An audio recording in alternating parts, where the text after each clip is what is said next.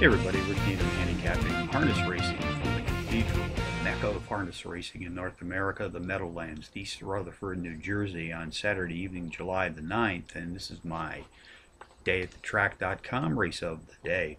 Let's take a look at race 6 this evening, folks, 8.40 p.m. Eastern Post Time. This is the Meadowlands Pace, three-year-olds in an open elimination pacing for a purse of $50,000. Contenders number 6, Powerful Mist, number 2, Westward Ho Hanover, number 1A, Feel Like a Fool, and number 3, Big Jim. Number 6, Powerful Mist, has posted a pair of power run wins in his last three outings. Gets the advantage of breaking from the number 6 hole tonight.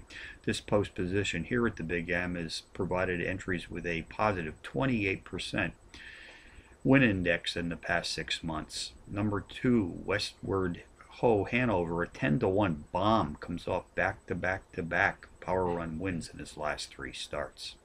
Race 6 summary, number 6 Powerful Mist, tops my contenders list, which also includes number 2 Westward Ho Hanover, number 1A Feel Like a Fool, and number 3 Big Jim. 6 2 1A, 3 in the 6th tonight from the Big M.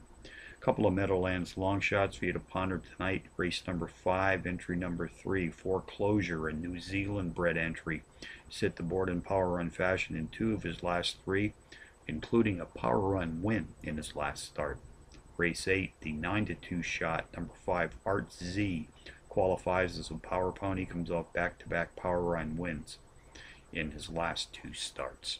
So from the Meadowlands on a Saturday night, Rick Davenport, dayatthetrack.com, reminding you as always to please bet with your head, not hold